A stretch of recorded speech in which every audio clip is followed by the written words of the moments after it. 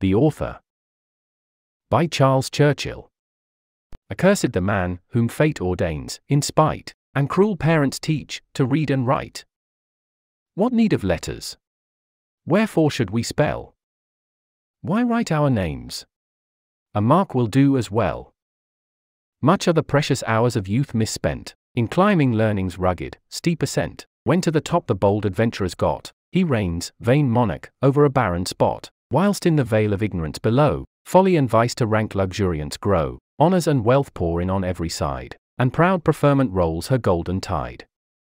Over crabbed authors life's gay prime to waste, to cramp wild genius in the chains of taste, to bear the slavish drudgery of schools, and tamely stoop to every pedant's rules, for seven long years debarred of liberal ease, to plod in college trammels to degrees, beneath the weight of solemn toys to groan, sleep over books, and leave mankind unknown, to praise each senior blockhead's threadbare tale, and laughed ill reason blush, and spirits fail, manhood with vile submission to disgrace, and cap the fool, whose merit is his place, vice chancellors, whose knowledge is but small, and chancellors, who nothing know at all, ill brook the generous spirit in those days, when learning was the certain road to praise, when nobles, with a love of science blessed, approved in others what themselves possessed.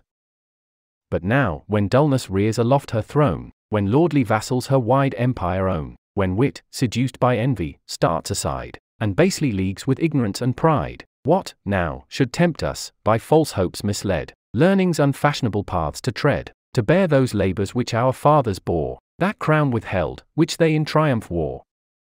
When with much pains this boasted learning's got, 'tis an affront to those who have it not, in some it causes hate, in others fear, instructs our foes to rail, our friends to sneer. With prudent haste the worldly minded fool, forgets the little which he learned at school, the elder brother, to vast fortunes born, looks on all science with an eye of scorn, dependent brethren the same features wear, and younger sons are stupid as the air. In senates, at the bar, in church and state, genius is vile, and learning out of date. Is this, oh, death to think? Is this the land, where merit and reward went hand in hand? Where heroes, parent like, the poet viewed, by whom they saw their glorious deeds renewed. Where poets, true to honor, tuned their lays, and by their patrons sanctified their praise.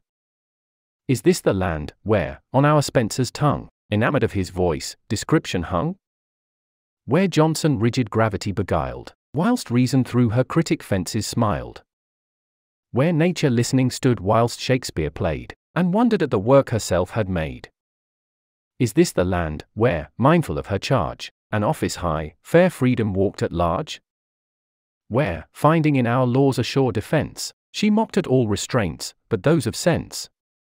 Where, health and honor trooping by her side, she spread her sacred empire far and wide, pointed the way, affliction to beguile, and bade the face of sorrow wear a smile, bade those, who dare obey the generous call, enjoy her blessings, which God meant for all.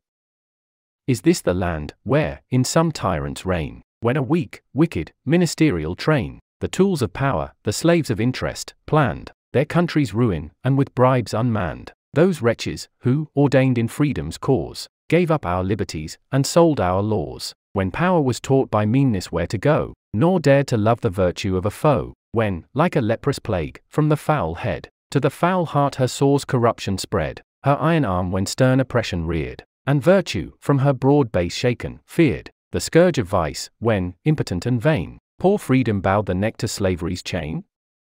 Is this the land, where, in those worst of times, the hardy poet raised his honest rhymes, to dread rebuke, and bad controlment speak, in guilty blushes on the villain's cheek, bad power turn pale, kept mighty rogues in awe, and made them fear the muse, who feared not law? How do I laugh, when men of narrow souls, whom folly guides, and prejudice controls, who, one dull drowsy track of business trod, worship their mammon, and neglect their God, who, breathing by one musty set of rules, dote from their birth, and are by system fools, who, formed to dullness from their very youth, lies of the day prefer to gospel truth, pick up their little knowledge from reviews, and lay out all their stock of faith in news. How do I laugh, when creatures, formed like these, whom reason scorns, and I should blush to please, rail at all liberal arts, deem verse a crime, and hold not truth, as truth, if told in rhyme. How do I laugh, when Publius, hoary grown, in zeal for Scotland's welfare, and his own, by slow degrees and course of office, drawn, in mood and figure at the helm to yawn, too mean, the worst of curses heaven can send, to have a foe, too proud to have a friend, erring by form, which blockheads sacred hold, never making new faults, and never mending old, rebukes my spirit, bids the daring muse, subjects more equal to her weakness choose, bids her frequent the haunts of humble swains, nor dare to traffic in ambitious strains, bids her, indulging the poetic whim, in quaint wrought ode, or sonnet pertly trim, along the churchway path complain with Gray, or dance with Mason on the first of May. All sacred is the name and power of kings, all states and statesmen are those mighty things, which, howsoever they out of course may roll, were never made for poets to control. Peace, peace, thou dotard! Nor thus vilely deem, of sacred numbers, and their power blaspheme.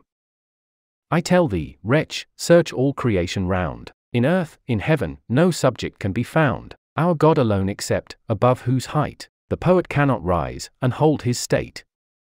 The blessed saints above in numbers speak, the praise of God, though their all praise is weak, in numbers here below the bard shall teach, virtue to soar beyond the villain's reach, shall tear his laboring lungs, strain his hoarse throat, and raise his voice beyond the trumpet's note, should an afflicted country, awed by men, of slavish principles, demand his pen.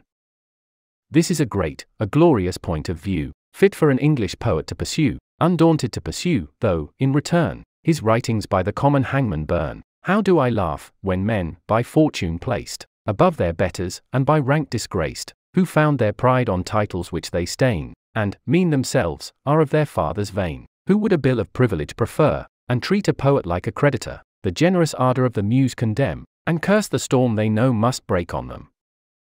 What? Shall a reptile bard, a wretch unknown, without one badge of merit but his own, great nobles lash, and lords, like common men, Smart from the vengeance of a scribbler's pen? What's in this name of Lord, that I should fear, to bring their vices to the public ear? Flows not the honest blood of humble swains, quick as the tide which swells a monarch's veins?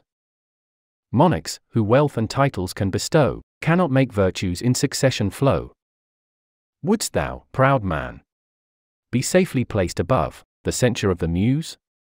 Deserve her love, act as thy birth demands, as nobles ought. Look back, and, by thy worthy father taught, who earned those honours thou wert born to wear, follow his steps, and be his virtue's heir.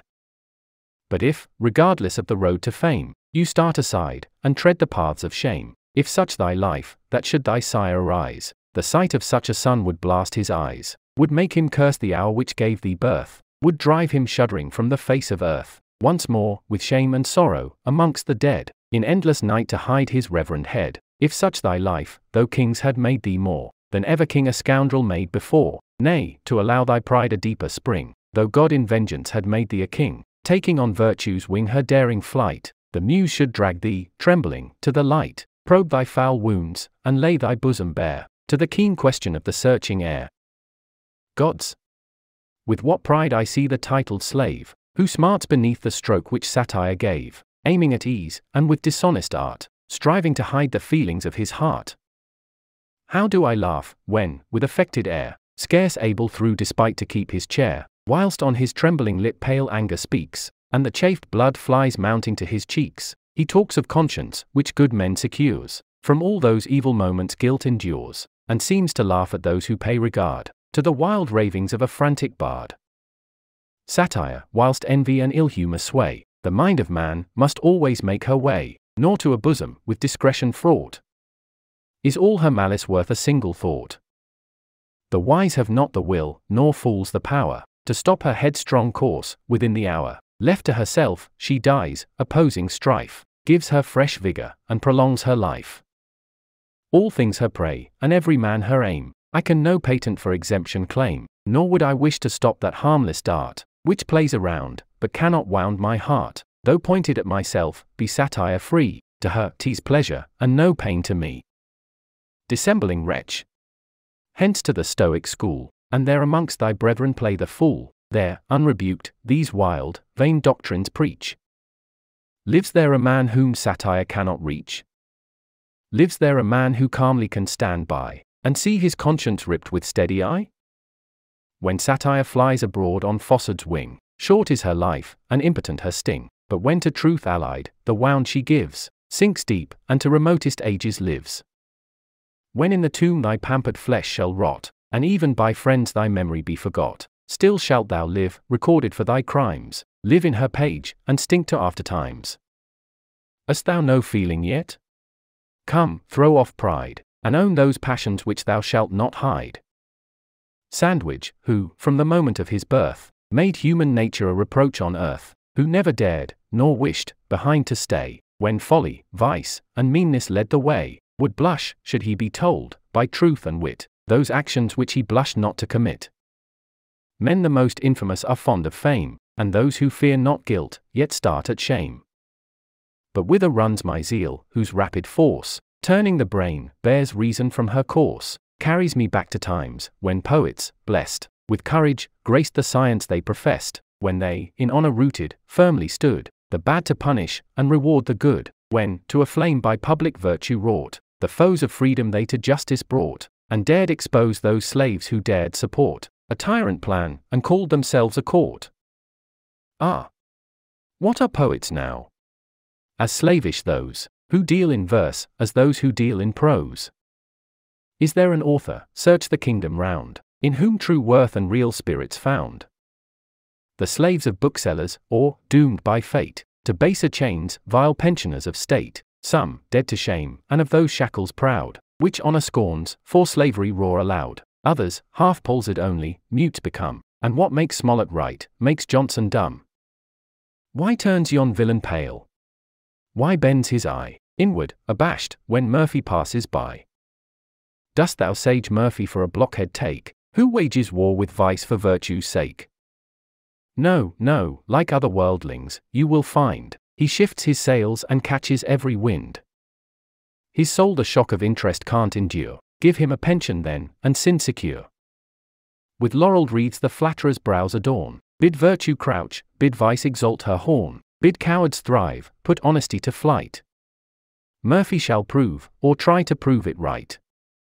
Try, thou state juggler, every paltry art, ransack the inmost closet of my heart, swear thou art my friend, by that base oath make way, into my breast, and flatter to betray.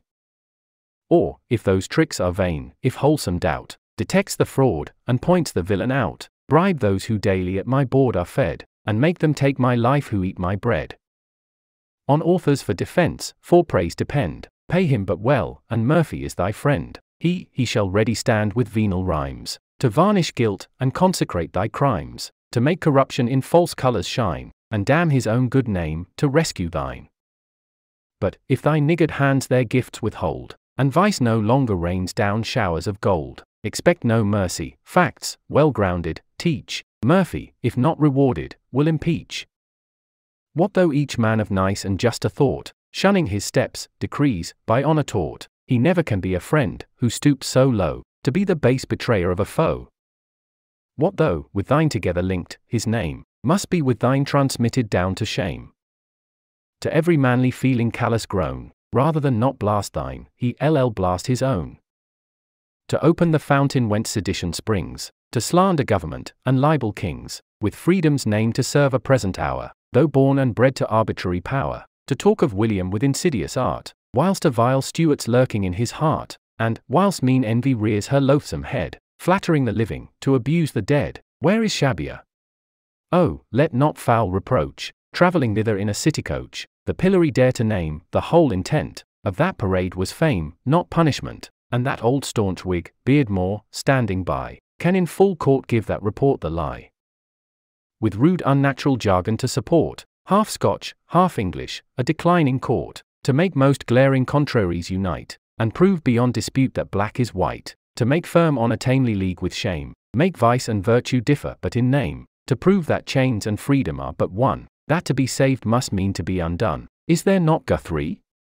Who, like him, can call all opposites to proof, and conquer all. He calls forth living waters from the rock, he calls forth children from the barren stock. He, far beyond the springs of nature led, makes women bring forth after they are dead. He, on a curious, new, and happy plan, in wedlock sacred bands joins man to man, and to complete the whole, most strange, but true, by some rare magic, makes them fruitful too, whilst from their loins, in the due course of years, flows the rich blood of Guthrie's English peers. Dost thou contrive some blacker deed of shame, something which nature shudders but to name, something which makes the soul of man retreat, and the life-blood run backward to her seat? Dost thou contrive, for some base private end, some selfish view, to hang a trusting friend? To lure him on, even to his parting breath, and promise life, to work him sure a death? Grown old in villainy, and dead to grace, hell in his heart, and Tyburn in his face, behold, a parson at thy elbow stands, lowering damnation, and with open hands, ripe to betray his Saviour for reward, the atheist chaplain of an atheist Lord. Bred to the church, and for the gown decreed, ere it was known that I should learn to read, though that was nothing, for my friends, who knew what mighty dullness of itself could do, never designed me for a working priest, but hoped I should have been a dean at least, condemned, like many more, and worthier men, to whom I pledge the service of my pen, condemned, whilst proud and pampered sons of lawn, crammed to the throat, in lazy plenty yawn, in pomp of reverend beggary to appear, to pray, and starve on forty pounds a year. My friends, who never felt the galling load, lament that I forsook the packhorse road, whilst virtue to my conduct witness bears, in throwing off that gown which Francis wears. What creatures that, so very pert and prim, so very full of farpery and whim, so gentle, yet so brisk, so wondrous sweet, so fit to prattle at a lady's feet, who looks as he the Lord's rich vineyard trod, and by his garb appears a man of God. Trust not to looks, nor credit outward show, the villain lurks beneath the cassock bow, that's an informer, what avails the name? Suffice it that the wretch from Sodom came. His tongue is deadly from his presence run, unless thy rage would wish to be undone. No ties can hold him, no affection bind, and fear alone restrains his coward mind. Free him from that, no monster is so fell, nor is so sure a bloodhound found in hell. His silken smiles, his hypocritic air, his meek demeanor, plausible and fair, are only worn to pave fraud's easier way, and make gold virtue fall a surer prey. Attend his church his plan of doctrine view, the preacher is a Christian, dull, but true, but when the hallowed hour of preaching's over, that plan of doctrine's never thought of more, Christ is laid by neglected on the shelf, and the vile priest is gospel to himself. By Cleland tutored, and with Blacow bred, Blacow, whom, by a brave resentment led, Oxford, if Oxford had not sunk in fame, ere this, had damned to everlasting shame, their steps he follows, and their crimes partakes, to virtue lost, to vice alone he wakes, most lusciously declaims against luscious themes, and whilst he rails at blasphemy, blasphemes. Are these the arts which policy supplies? Are these the steps by which grave churchmen rise? Forbid it, heaven, or, should it turn out so, let me and mine continue mean and low. Such be their arts whom interest controls. Kidgell and I have free and modest souls. We scorn preferment which is gained by sin, and will, though poor without, have peace within. Thanks for watching the channel. If you liked the video, please hit the like button. If you haven't already, please consider subscribing. Or if you would like to support the channel, please visit the link in the description to visit our Patreon page. Like the pictures in the video? Visit the link the description to see more. Thanks again for watching.